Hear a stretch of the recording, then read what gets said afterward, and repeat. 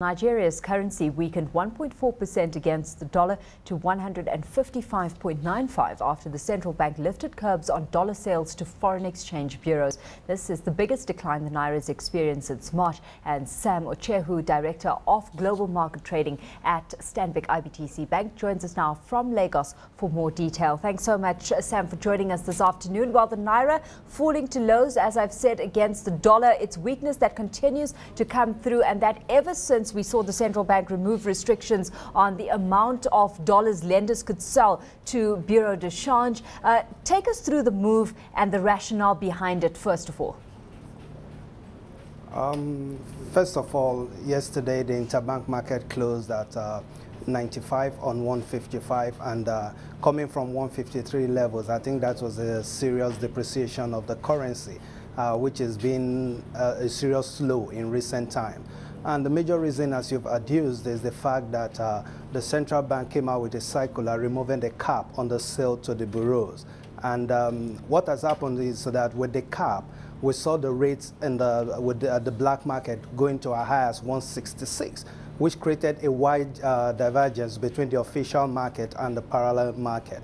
And that, in my opinion, would have created a lot of room for round tripping because then people can easily, there's encouragement, there's the inducement for people to access the official funds and take it to the parallel market to sell. I don't think central bank is interested in that. And then at a certain band, in my opinion, at a certain band, the World Bank will be very concerned if the difference between the parallel market rate and the, uh, the official rate is that high. They might then start looking at the parallel market rate as the uh, official rate for the market. I don't think the central bank will want that. So what they've done is to increase the supply to that market again. And most of those demand, it cannot be sourced from the central bank. It has to be sourced from the interbank market. So we've seen a lot of demand come back to the interbank market that was not either, that either to was not there. And that is why we saw the rate moving from the 153 levels mm -hmm. to approximately 156 levels. So where we've seen this rush, uh, you know, rush of demand for the dollar on the interbank market and forcing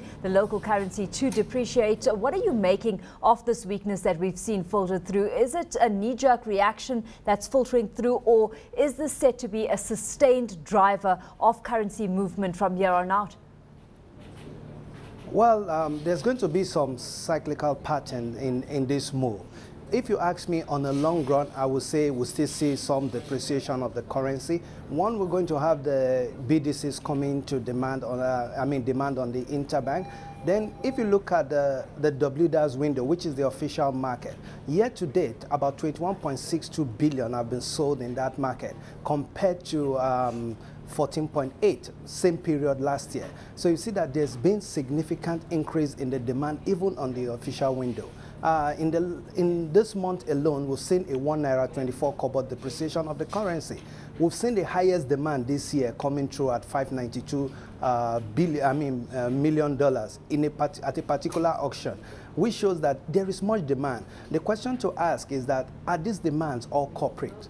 Mm -hmm. Do we see other demands there? I think there are some demands from fiscal induced liquidity that are in the system that is actually chasing uh, these effects. That's one thing I think, and that's why you've seen a lot of volumes in the demand coming through the official window.